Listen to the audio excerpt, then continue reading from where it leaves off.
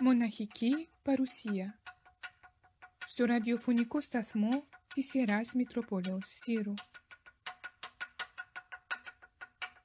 Μία συμβολή στη ζωή της τοπικής μας Εκκλησίας.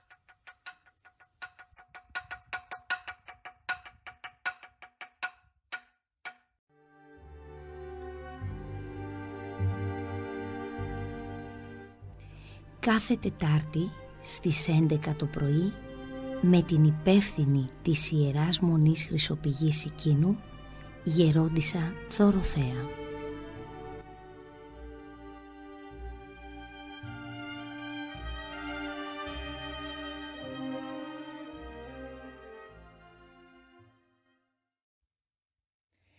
Χαίρετε, αγαπητοί ακρότες. Σήμερα πρέπει να απαντήσω σε άλλη μια ερώτηση που μου έκαναν οι ακρότες και που συχνά μου κάνουν οι άνθρωποι. Γιατί πάει κανείς στο μοναστήρι για να γίνει μοναχός ή μοναχή; Και ιδιαίτερα μια πολύ νέα, μορφωμένη, ίσως και όμορφη κοπέλα, που είχε μια λαμπερή ζωή μπροστά της και ανθρώπους να την αγαπήσουν.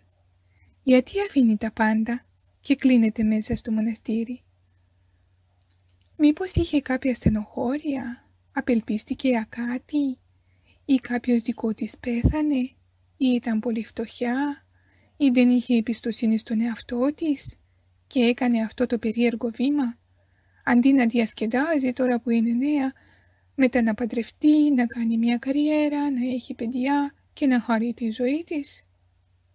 Όχι, τίποτα από όλα αυτά. Ας πάνε στο μοναστήρι, λένε μερικοί, οι γυναίκες που βγήκαν στην σύνταξη και αισθάνονται μοναξία Αυτές ας πάνε η εκκλησία και στα μοναστήρια για να περάσει η ώρα τους. Αυτό μου λένε συνήθως οι άνθρωποι.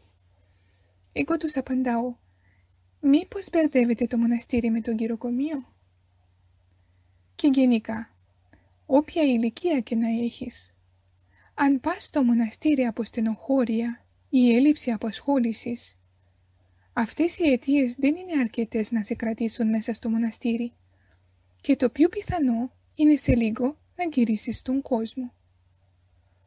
Το μοναστήρι δεν είναι μόνο χαρά και απασχόληση, αλλά και αγώνας. Γι' αυτό ο καθένας πρέπει πρώτα να δοκιμάσει και να δοκιμαστεί. Είναι δύσκολο για τον άνθρωπο που δεν είναι συνειδητός χριστιανός να καταλάβει τη ζωή μας στο μοναστήρι. Η ζωή μας είναι τόσο όμορφη και γεμάτη που αν μπορούσαν οι άνθρωποι να την γευτούν έστω και λίγο, πολλοί θα ζήλευσαν και θα ήθελαν να γίνουν μοναχοί. Αυτός που πηγαίνει στο μοναστήρι έχει κάλεσμα από τον Θεό και πάει για την αγάπη του Χριστού. Και όταν το λέω αυτό, αμέσως οι άνθρωποι μου απαντάνε. Μα εγώ που είμαι έξω στον κόσμο δεν αγαπάω τον Χριστό. Ναι, μπορεί να τον αγαπάς, αλλά το να γίνεις νύμφη του Χριστού με άλλα λόγια μοναχή, σημαίνει να παραδώσεις ολόκληρη την ζωή και την καρδιά σου στον Χριστό και σε κανέναν άλλο. Όπως άλλο είναι να αγαπάς από μακριά κάποιο φίλο και άλλο να ζεις καθημερινά με τον άντρα σου και μόνο με αυτόν. Να μην αγαπάς κανέναν στον κόσμο πιο πολύ από τον Θεό, ούτε πατέρα, ούτε μητέρα, ούτε αδέλφια, ούτε τα ξενύχτια με τους φίλους να αγαπάς πιο πολύ από τον Χριστό. Και αμέσως έρχεται η ερώτηση «Μα τι ιδέα είναι αυτή, να μην αγαπάς τη μάνα σου, την οικογένεια σου και να μην πηγαίνεις να πίνεις έναν καφέ με τους φίλους; Έχει κάτι κακό αυτό» Όχι βέβαια. Το Ευαγγέλιο δεν μας λέει να μην αγαπάμε την μάνα και την οικογένεια μας αλλά λέει να τους αγαπάμε πολύ και να τους τιμούμε και αυτούς και όλο τον κόσμο. αλλά όχι περισσότερα από τον Χριστό. Σε αυτό το σημείο όλοι θέλουν ένα παράδειγμα να καταλαβούν καλύτερα. Και τους λέω, αν η μάνα σου σου λέει «Έλα να φάμε παιδί μου, σου έφτιαξα το ωραίο κοτόπουλο που σου αρέσει». Και εσύ της λες «Ευχαριστώ πολύ μαμά, είσαι πολύ καλή. Βάλτε το σε παρακαλώ στο ψυχείο να το φάω αύριο, γιατί σήμερα είναι Παρασκευή και θα νηστέψω για την Σταύρωση του Χριστού. Θα φάω καλύτερα από τις ωραίες μελιτζάνες που έφτιαξες χθες. Τότε, αγαπάς και την μάνα σου, γιατί της μιλάς όμορφα και δεν θες να υποφέρει για την επιλογή σου, αλλά βάζεις πιο πάνω τον Χριστό. Και σιγά σιγά μπορεί να αλλάξει και εκείνη. Άλλο παράδειγμα. Αν η αδελφή ή η φίλη σου σου λέει «Είναι Κυριακή πρωί και είναι ωραία μέρα έξω. Πάμε να περπατήσουμε λίγο. Θα περάσουμε καλά ως συνήθως». Αν εσείς λες, εσύ λες «Όχι, θα πάω πρώτα εκκλησία και μετά θα χαρώ πολύ να πάμε μαζί έξω».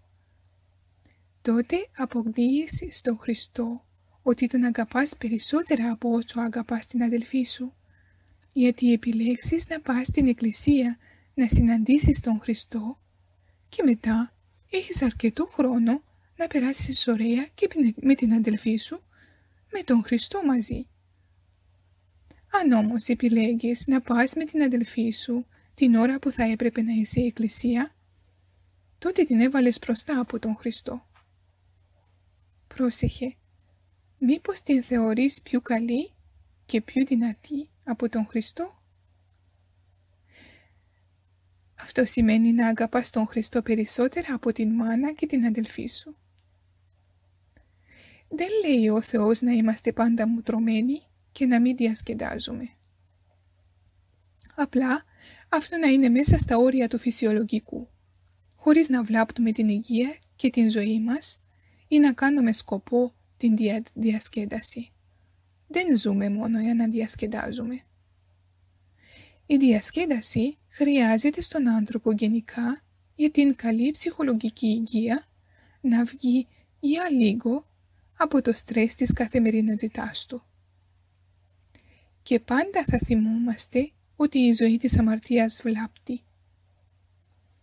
Αν είσαι συνειδητός χριστιανός όμως, δεν μπορείς να ζεις την αμαρτία θα πας να πεις έναν καφέ με τους φίλους, αλλά αν αρχίζουν να λένε ψέματα, εγωισμοί ή κατακρίσεις, δεν θα σου αρέσει πια η παρέα αυτή, γιατί θα αισθανθείς ότι χάνεις τη χάρη του Θεού. Τότε θα καταλάβεις καλά ότι η αμαρτωλή ζωή είναι εκείνη με ψέμα, κατάκριση και εγωιστική συμπεριφορά γιατί η αμαρτία είναι οτιδήποτε σε χωρίζει από τον Θεό. Αν πας σε ένα πάρτι και αρχίσετε να πίνετε, να μεθάτε ή να κάνετε άλλα τέτοια πράγματα, θα σκεφτείς. Ο Θεός και η Παναγία με βλέπουν μέρα και νύχτα, είτε θέλουμε είτε όχι. Πώς να κάνω εγώ αυτό μπροστά στον Θεό; Ο Θεός μας, μας δίνει την δόξα Του εγώ γιατί την πετάω στο βούρκο της συντονής; Γιατί να μην έχω την αξιοπρέπεια που μου έδωσε ο Θεός; Ο Θεός με έκανε βασίλισσα και εγώ κάνω την τελευταία πόρνη. Το ίδιο όταν τσακώνεσαι με κάποιον. Είδες ποτέ πώς τσακώνονται οι κότες στο κοτέτσι; Αυτό να σκεφτείς όταν τσακώνεσαι με κάποιον. Δεν είναι αυτή η αξιοπρέπεια που έδωσε ο Θεός στον άνθρωπο. Αν θες ένα καλό παράδειγμα, διάβαζε το Ευαγγέλιο πώς μίλησε η Παναγία με την Ελισάβετ, η μάνα του Αγίου Ιωάννου του Προδρόμου. Είναι το Ευαγγέλιο που διαβάζεται στη παράκληση. Σαν αυτές τις αγγείες γυναίκες, να συμπεριφέρεσαι κι εσύ. Εκ του κατά Λουκάν, Αγίου Ευαγγελίου του ανάγνωσμα, πρόσχομαι.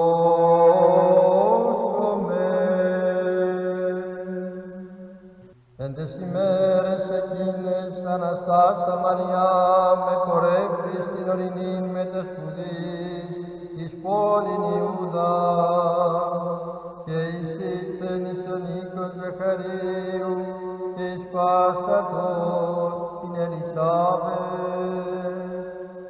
και γένετος ήκουσεν η Ελισάβετ των ασπασμών της Μαρίας εσκύτησε το βρέφος εν την κοιλία αυτής και πλήστη πνεύματος Αγίου η Ελισάβετ και ανεφώνησε φωνή μεγάλη και είπε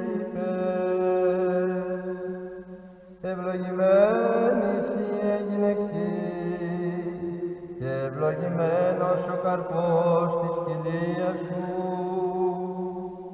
και πόθεν μη τούτον ή να έλθει μήτης του Κυρίου μου προς με.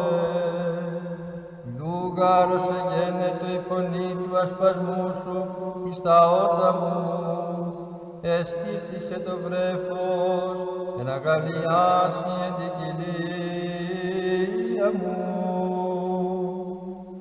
Και μακαρία η πιστέψεσαν ότι έστε τελείωση της λελαλημένης αυτή παρακυρίου. Και είπε Μαριά,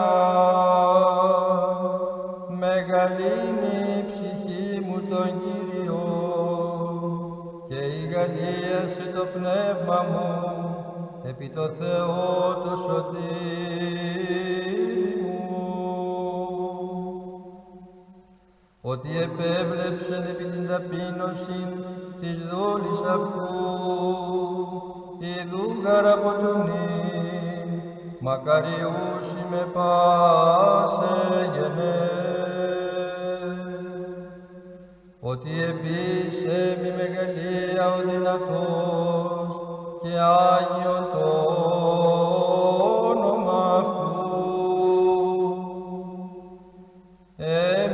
Μαριάμ συν αυτή, ως μήνας τρεις.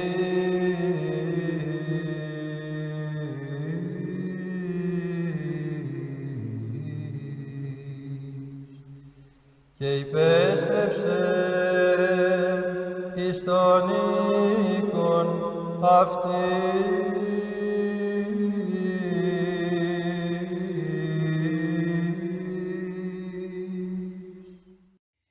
Το Ευαγγέλιο είναι το ίδιο για τους κοσμικούς και τους μοναχούς.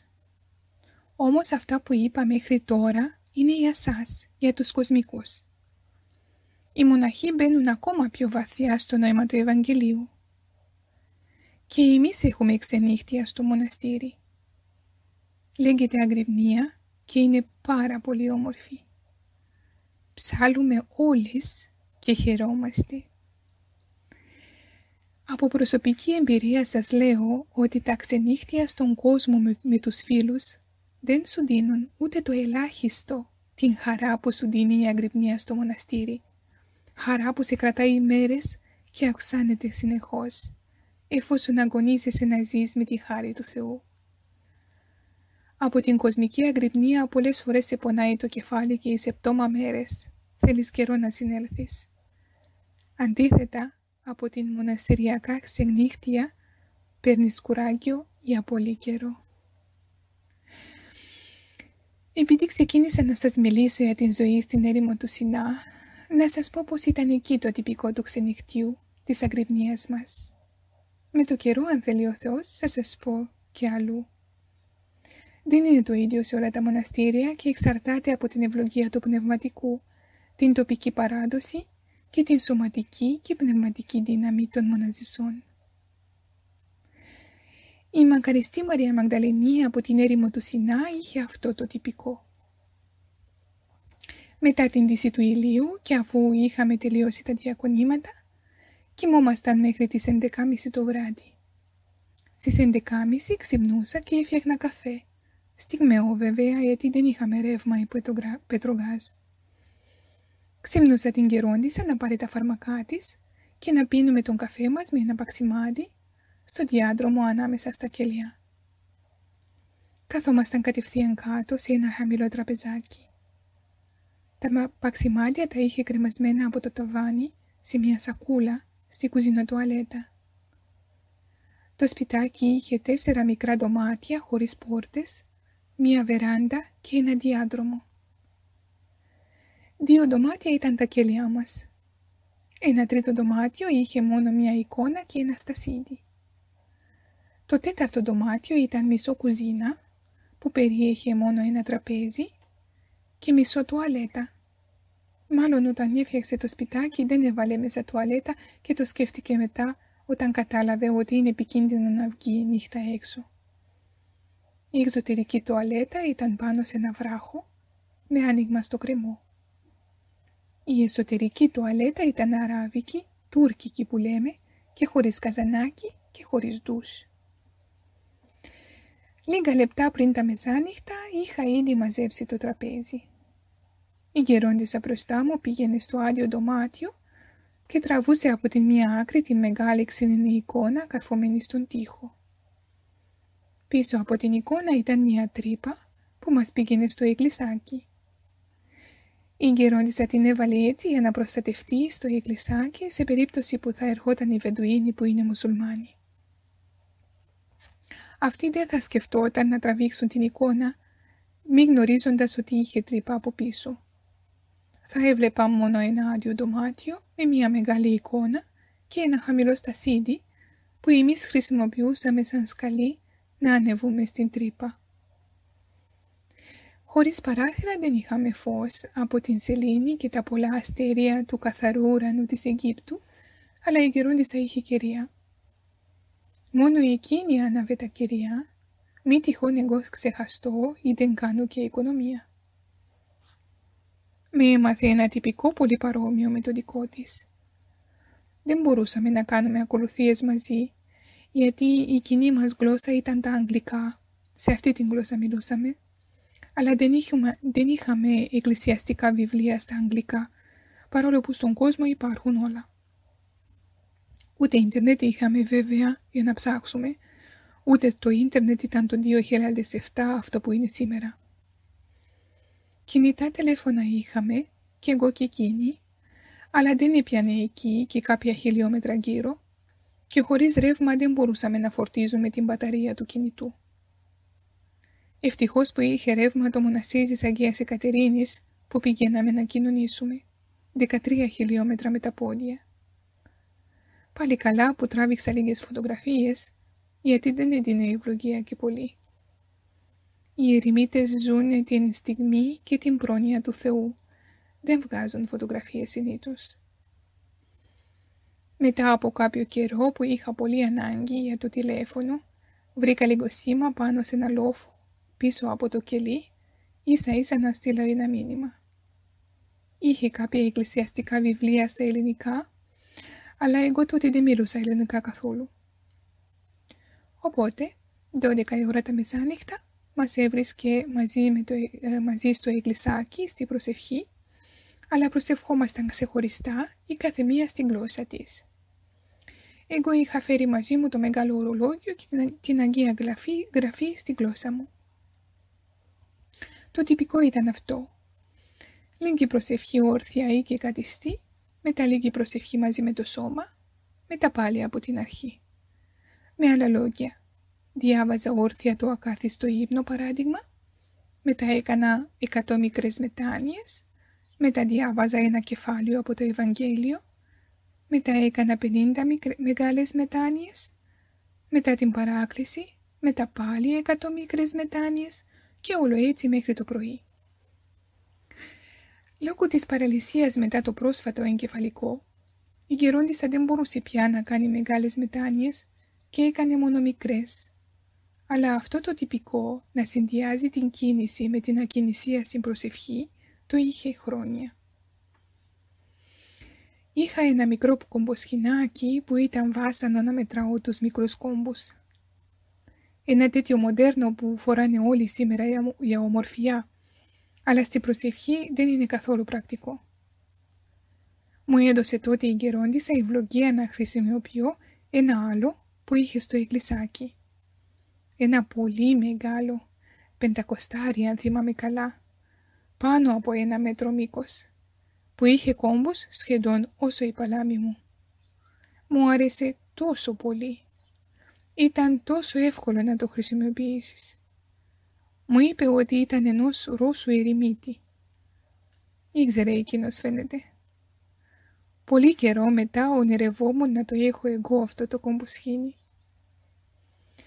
Ξέρετε ότι η χρήση του κομποσχηνιού που φοράμε είναι σε κάθε κόμπο να λέμε «Κύριε Ιησού Χριστέ, Γε του Θεού, ελέησέ με».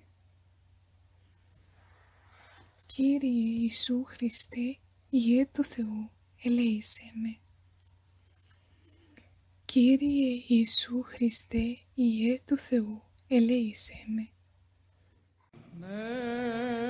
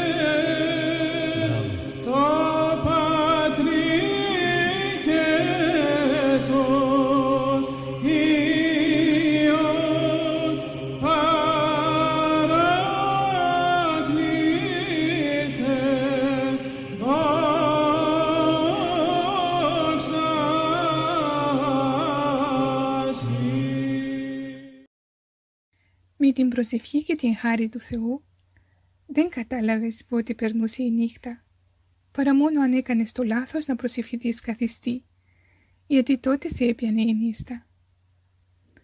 Όταν ήμουν κι εγώ πιο πρόθυμη για την προσευχή, κατά τις πεντέμιση το πρωί, άκουγα την γερόντισσα να μου λέει «Έλα, πήγαινε να ποτίζεις.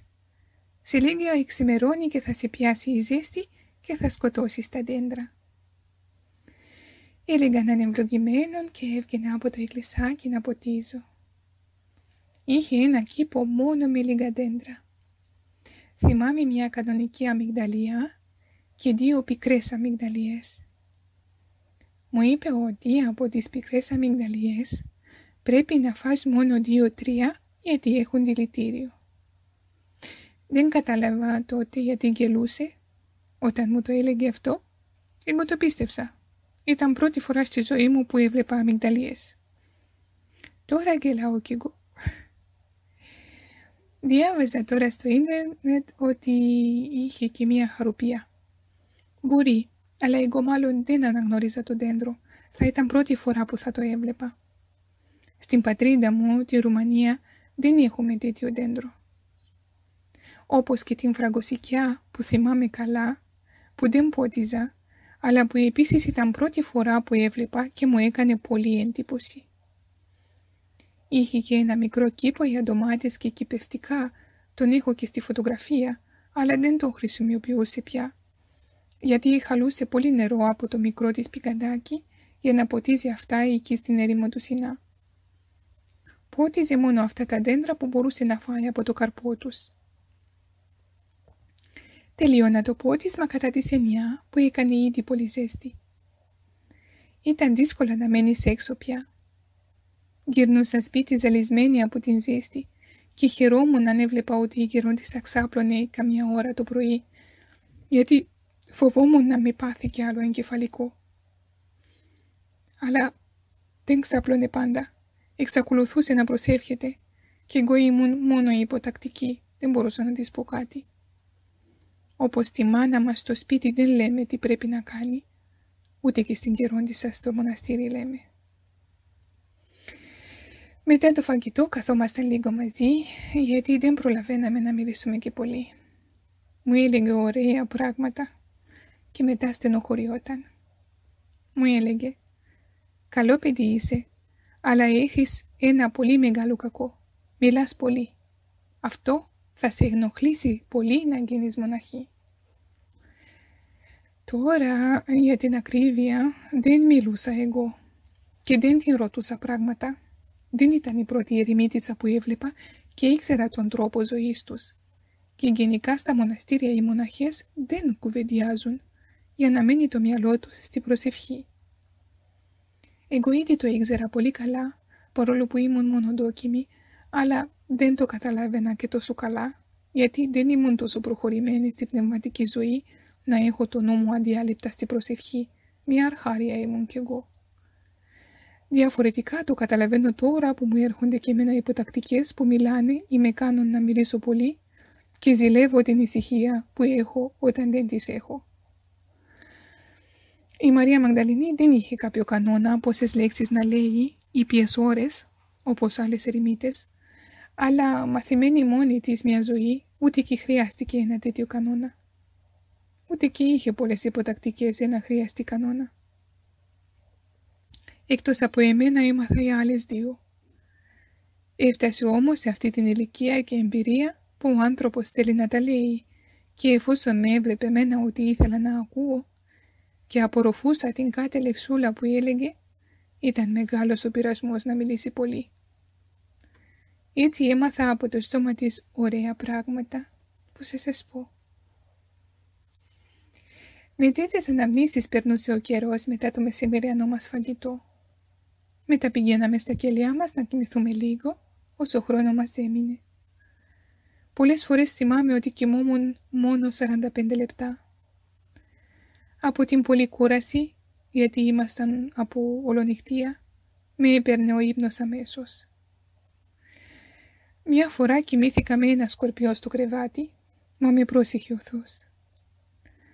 Ξύπνησα χωρίς να ξέρω γιατί, σαν κάποιος να με ξυπνούσε να μου δείξει κάτι. Είδα το σκορπιό στο κρεβάτι μου, αλλά νόμιζα ότι είναι μια αράχνη. Ήταν πρώτη φορά που έβλεπα σκορπιό στην πραγματικότητα. Στη χώρα μου δεν υπάρχουν σκορπιοί. Σαν παιδί θυμάμαι ότι είδα σε ένα ντοκουμεντέρ στη τηλεόραση, αλλά τότε που ξύπνησα ξαφνικά δεν το αναγνώριζα. Νίσταζα όμως τόσο πολύ και, έχω, και είχα ακόμα λίγα λεπτά ευλογία να κοιμηθώ, που άφησα το σκορπιό στο κρεβάτι και εγώ σάπλωνα κάτω και ακολούθησα να κοιμάμαι. Όταν ήρθε η ώρα να σηκωθώ, πήγα στην κερόντισσα και της είπα ότι κάποια ράχνη κοιμάται στη θέση μου. Τρώμαξε, τον σκότωνε σε αμέσως, ευχαρίστησε τον Θεό που είμαι καλά και μου είπε ότι ήταν σκορπιός και θα μπορούσε να σκοτώσει εκείνος εμένα με τον δηλητηριό του.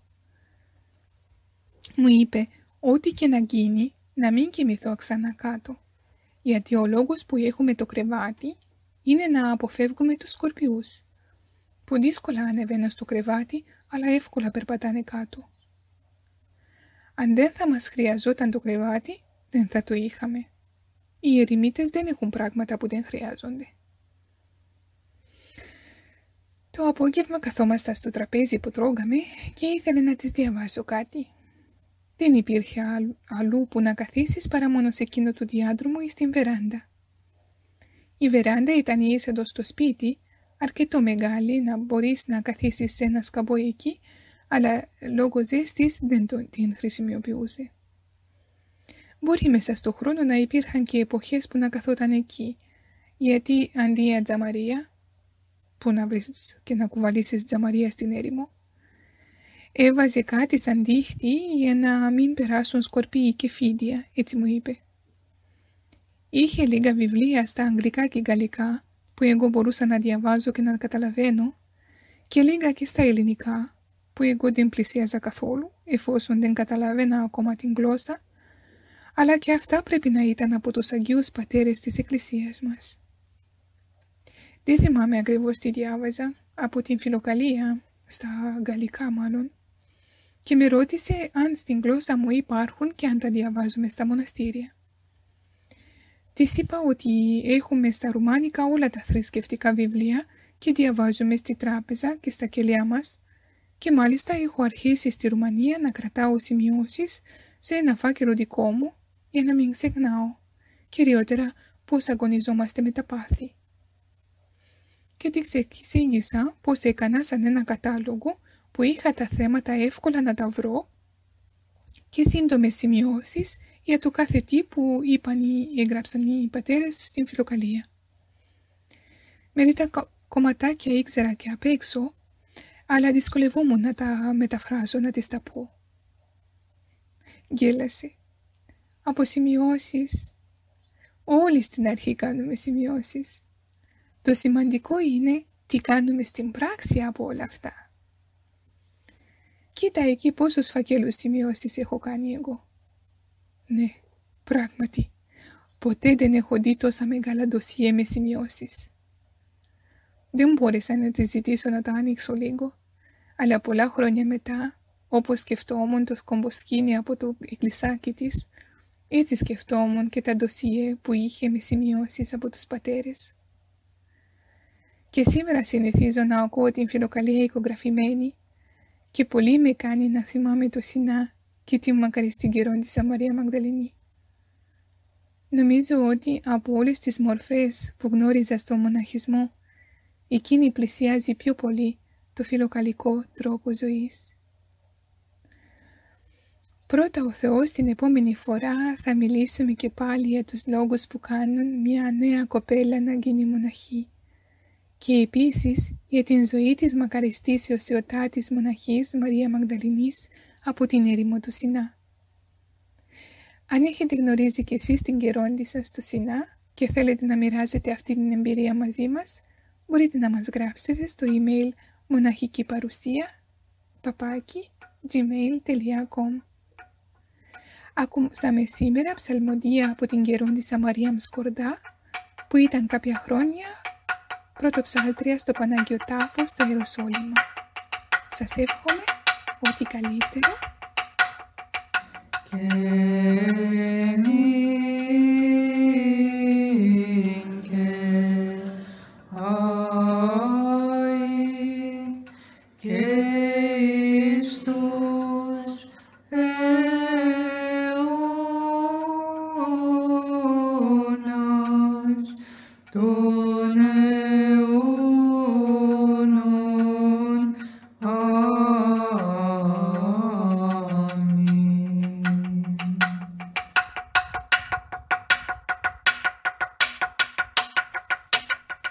Μοναχική παρουσία στο ραδιοφωνικό σταθμό της Ιεράς Μητροπόλεως Σύρου.